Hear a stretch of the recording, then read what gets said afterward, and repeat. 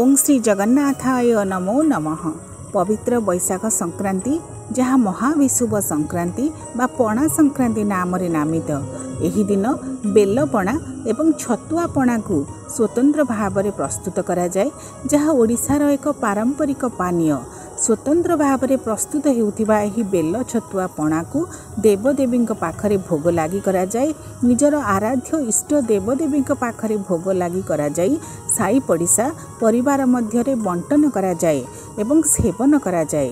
ଯେହେତୁ ପଣା ସଂକ୍ରାନ୍ତି ପରଠାରୁ ସୂର୍ଯ୍ୟଙ୍କର ଉତ୍ତାପ ବଢ଼ିବାରେ ଲାଗେ ତେଣୁ ଶରୀରର ତାପକୁ ପ୍ରଶମିତ କରିବା ପାଇଁ ଯେପରି ଭାବରେ ଜୀବଜଗତ ବୃକ୍ଷଲତାଙ୍କୁ ଏହି ଦିନ ଜଳଛତ୍ର ଏବଂ ଜଳ ଲାଗି କରିବାର ବିଧାନ ରହିଛି ତେଣୁ ଏହି ସଂକ୍ରାନ୍ତିର ଅନ୍ୟ ନାମ ମଧ୍ୟ ଜଳ ସଂକ୍ରାନ୍ତି ସେହିପରି ଭାବରେ ଘରେ ଘରେ ସ୍ୱତନ୍ତ୍ର ବେଲପଣାକୁ ପ୍ରସ୍ତୁତ କରାଯାଏ। ପ୍ରତ୍ୟେକ ବର୍ଷ ପଣା ସଂକ୍ରାନ୍ତି ଅବସରରେ ମୁଁ ସ୍ୱତନ୍ତ୍ର ଭାବରେ ବେଲ ଛତୁଆ ପଣାକୁ ମୋ ଘରେ ପ୍ରସ୍ତୁତ କରିଥାଏ। ତେବେ ଆସନ୍ତୁ ଦେଖିବା ଏହି ବର୍ଷ କିପରି ଭାବରେ ମୁଁ ବେଲ ଛତୁଆ ପଣାକୁ ପ୍ରସ୍ତୁତ କରିଛି।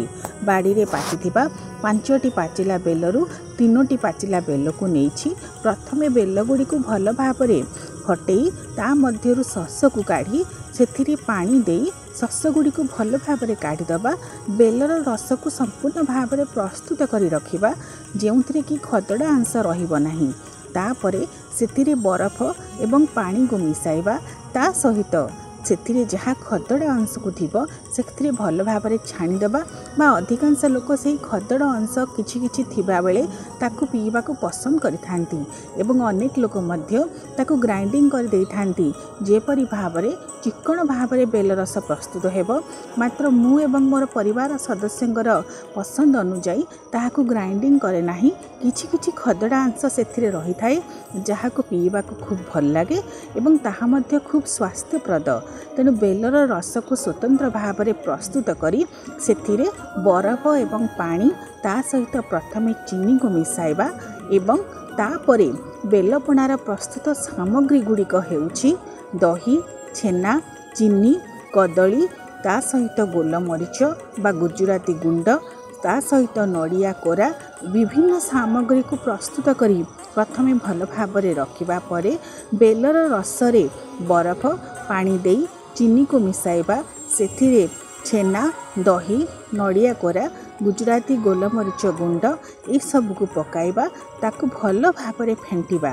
ଯେତେବେଳେ ବେଲପଣାକୁ ପ୍ରସ୍ତୁତ କରାଯାଏ ସେତେବେଳେ ପରିବାରର ସଦସ୍ୟ ଯେତେ ଜଣ ଥାଆନ୍ତି ସେହିମାନଙ୍କର ଆବଶ୍ୟକତା ଅନୁଯାୟୀ ଚିନିକୁ କମ୍ ବେଶୀ କରି ପକାଯାଏ ଏବଂ କିଛି ବହଳା ଅଂଶ ରହିଲେ ପଣାଟି ଖୁବ୍ ସୁସ୍ୱାଦୁ ହୋଇଥାଏ। ମହାବିଷୁବ ସଂକ୍ରାନ୍ତି ବା ପଣା ସଂକ୍ରାନ୍ତିକୁ ଜଳ ସଂକ୍ରାନ୍ତି ଠେକି ସଂକ୍ରାନ୍ତି ଠେକି ବସା ସଂକ୍ରାନ୍ତି ବସୁନ୍ଧରା ସଂକ୍ରାନ୍ତି ଏବଂ ଛତୁଆ ସଂକ୍ରାନ୍ତି ନାମରେ ମଧ୍ୟ ନାମିତ କରାଯାଇଛି ଏବଂ ଏହି ଦିନ ସ୍ୱତନ୍ତ୍ର ଭାବରେ ଛତୁଆ ପଣା ମଧ୍ୟ ପ୍ରସ୍ତୁତ କରାଯାଏ। କେହି କେହି ବେଲ ସହିତ ଛତୁଆକୁ ମିଶାଇ ଏକତ୍ର ପ୍ରସ୍ତୁତ କରିଥାନ୍ତି। କେହି କେହି ସ୍ୱତନ୍ତ୍ର ଭାବରେ ବେଲପଣାକୁ ପ୍ରସ୍ତୁତ କରିଥାନ୍ତି। କେହି କେହି ଛତୁଆ ପଣାକୁ ମଧ୍ୟ ସ୍ୱତନ୍ତ୍ର ଭାବରେ ପ୍ରସ୍ତୁତ କରିଥାନ୍ତି। ଏଠାରେ ମୁଁ ବେଲ ସହିତ ଛତୁଆକୁ ମିଶାଇ ବେଲ ଛତୁଆ ପଣାକୁ ପ୍ରସ୍ତୁତ କରିଅଛି। କୁହାଯାଏ ପଣା ସଂକ୍ରାନ୍ତି ସଂକ୍ରାନ୍ତି ପରଠାରୁ ସୂର୍ଯ୍ୟଙ୍କର ଉତ୍ତାପ ବୃଦ୍ଧି ପାଇବାରେ ଲାଗେ। ସୌର ଗଣନା ଅନୁଯାୟୀ ଯେହେତୁ ଏହି ଦିନଠାରୁ ସୂର୍ଯ୍ୟ ବିଷୁବରେଖାରେ ଅବସ୍ଥାନ କରି ତାପରେ ଧୀରେ ଧୀରେ କର୍କଟ କ୍ରାନ୍ତି ଆଡ଼କୁ ଅଗ୍ରସର ହୁଅନ୍ତି ସୂର୍ଯ୍ୟଙ୍କର ଉତ୍ତାପ ଧୀରେ ଧୀରେ ବଢ଼ିବାରେ ଲାଗେ। ତେଣୁ ମନୁଷ୍ୟର ଶରୀରର ଉତ୍ତାପକୁ ପ୍ରଶମିତ କରିବା ପାଇଁ ପ୍ରଚୁର ଜଳପାନ କରିବାର ପାନୀୟ ପାନ କରିବାର ବ୍ୟବସ୍ଥା ରହିଛି। ତେଣୁ ପ୍ରତୀକ ଭାବରେ ପଣା ସଂକ୍ରାନ୍ତି ଦିନ ପଣାକୁ ପ୍ରସ୍ତୁତ କରାଯାଇ ସମସ୍ତ ଦେବଦେବୀଙ୍କ ପାଖରେ ଭୋଗ ଲାଗି କରାଯାଏ ଏବଂ ଏହି ଦିନଠାରୁ ଓଡ଼ିଆ ନବବର୍ଷ ଆରମ୍ଭ ହେଉଥିବାରୁ ଅନେକ ସ୍ଥାନରେ ମହାବିଷୁବ ମିଳନ ମଧ୍ୟ କରାଯାଏ। ବିଷୁବ ଆସର ଜମେ।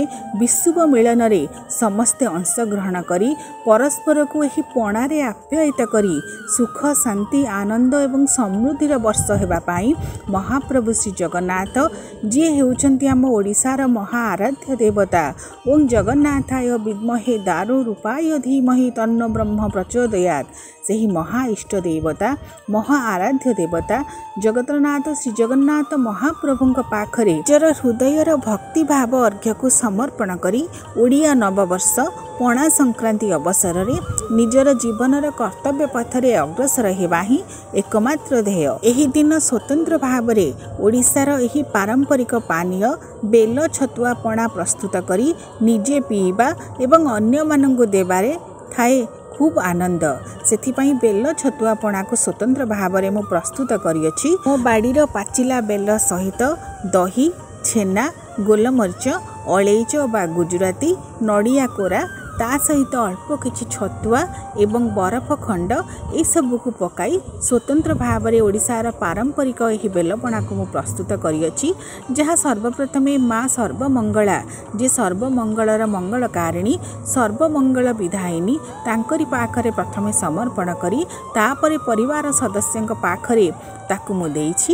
ଏ ବର୍ଷର ପ୍ରସ୍ତୁତ ହୋଇଥିବା ଏହି ସ୍ୱତନ୍ତ୍ର ବେଲପଣାର ମଜା ଏବଂ ସ୍ୱାଦ ଖୁବ୍ ନିଆରା। ତେଣୁ ଆପଣମାନଙ୍କ ଉଦ୍ଦେଶ୍ୟରେ ଏହି ବେଲପଣାକୁ କିପରି ଭାବରେ ପ୍ରସ୍ତୁତ କରାଯାଏ ତା'ର ଗୋଟିଏ କ୍ଷୁଦ୍ର ଭିଡ଼ିଓଟିଏ ମୁଁ ବନାଇଛି ଏବଂ ଆବଶ୍ୟକ ଅନୁଯାୟୀ ଏବଂ ରୁଚି ଅନୁଯାୟୀ ଏଥିରେ ତାପରେ ପ୍ରସ୍ତୁତି ପରେ ଆବଶ୍ୟକୀୟ ଫଳ କଦଳୀ ଡାଳିମ୍ବ ଏବଂ ଯେକୌଣସି ପ୍ରକାର ଫଳ ଆପଣମାନେ ପକାଇ ପିଇପାରିବେ ଏବଂ ଅନ୍ୟମାନଙ୍କୁ ମଧ୍ୟ ପିଆଇ ପାରିବେ।